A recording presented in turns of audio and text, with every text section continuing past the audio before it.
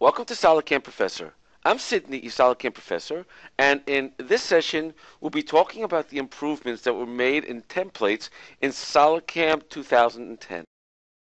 When using a process template, and we'll choose this particular process template over here, and we have common geometries and depths involved in this particular template.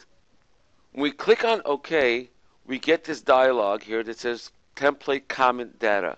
We can now use a specific geometry that will be for all of those templates and that will immediately be put into those templates itself. In addition, we have the choosing of the coordinate system and we can also choose our upper and lower levels for all the common templates.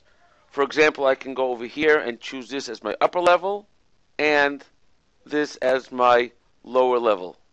And using also this particular geometry that I have over here, by clicking OK, I will get all of those operations already with the depth inserted and the geometry inserted as well.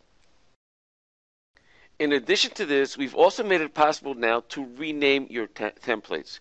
If I go to Manage Templates, if it's a specific template, I can simply right click on the template itself and just do rename and give the template a different name, such as what I'm doing right now.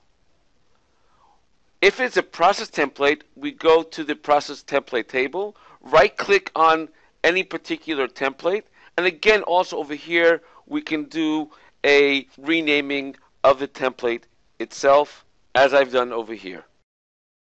Thank you for joining us on SolidCAM Professor. Take care and have a nice day.